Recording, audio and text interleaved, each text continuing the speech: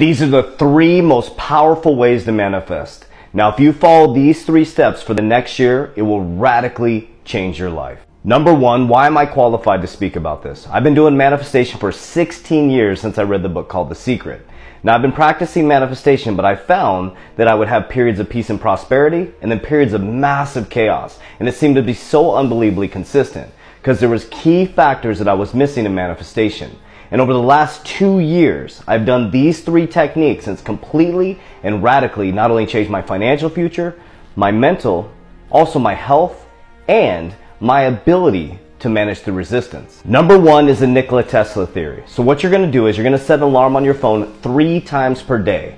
One alarm in the morning, and what you're going to do is write down a statement three times. For example, what are the steps to 1 million a month in income? Repeat it three times in the morning, connecting your heart and mind together. We'll talk about that in step three, and then releasing it. At noon, do it again six times. At nine o'clock at night, do it again nine times. The time doesn't matter, just spread it out three times throughout the day. So write a statement, but the key is ask your brain a question. Your brain is like Google. It always answers the question. So if you keep saying, why do I end up with shitty guys or why do I end up in shitty relationships? It's going to show you more reasons why. So ask your brain a question to get the manifestation. Step one. Step two, the average human has 80,000 thoughts a day. Most of the thoughts are from the day before. So what you have to do is create a repetitive pattern within your brain to reprogram your subconscious mind. So about a thousand times a day I say I'm so happy and grateful for the money that comes to me in increasing quantities from multiple sources on a continuous basis. What I do is I set another alarm on my phone and it goes off consistently throughout the day to remind me to repeat those patterns within my mind to override the negative programming. So that's number two. Number three, and most important and why most people get it wrong, because thoughts don't just become things.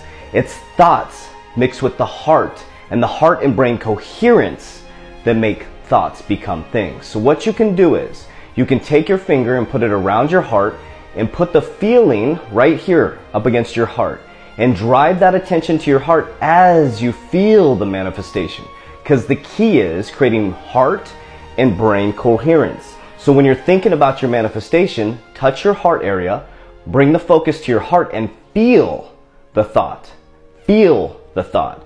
So 369, repetitive patterns, heart brain coherence. Try that for one year and see what happens. Warriors, rise! This year, 2022, we're all getting our shit together, together. Click the link in my bio, hundreds of free videos.